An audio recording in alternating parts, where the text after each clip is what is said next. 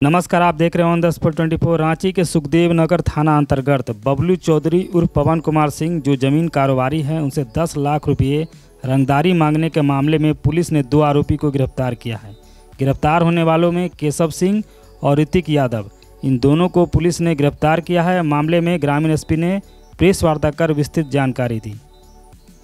सुखदेव नगर थाना क्षेत्र में आज हम लोग हैं इस थाने पे आए हैं। और यहाँ के वादी बबलू कुमार सिंह काफ़ी त्रस्त थे। उनको बबलू चौधरी इनसे 10 लाख रुपए की रंगदारी इधर कुछ लोग मांग रहे थे फ़ोन मोबाइल पर और चैटिंग भी कर रहे थे। ये भयभीत हो गए परेशान हुए तो फिर लोगों से संपर्क बनी इनकी और थाना प्रभारी विशेष यहाँ नए हैं राजेश जी इनको इंस्ट्रक्शन दिया कि भैया आप टेक्सel के माध्यम से उसको ट्रैक कीजिए हम्म, कि आखिर वो कौन आदमी है। इनकी टीम ने ट्रैक किया और कल ही कल ही केशव सिंह और ऋतिक यादव जो लोकल ही इसी क्षेत्र के रहने वाले हैं, उनको डिटेन किया गया है। और उनके पास ये देख रहे हैं एंड्रॉयड फ़ोन है तीन।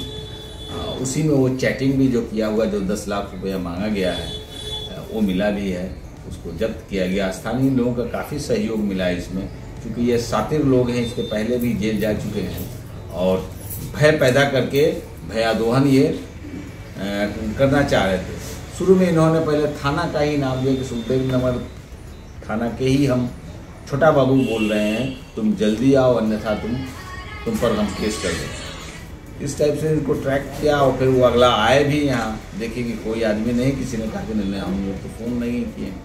फिर कल को फिर फ़ोन किया दूसरे रूप में और इस तरह से ही पकड़े गए हैं और ये मोबाइल फ़ोन मिल गया हमको लगता है कि इनके पकड़े जाने से इस ढंग की कार्रवाई करने वाले लोगों पर अंकुश ज़रूर रहेगा। दरअसल ये पवन कुमार ज़मीन कारोबारी है ज़मीन से कारोबार से जुड़े हुए। क्या थाना आ रहा है कि नहीं? चूँकि ये तो आदमी लोकल ही है ना। ये वॉच कर रहा था कि हाँ अगला आया कि नहीं।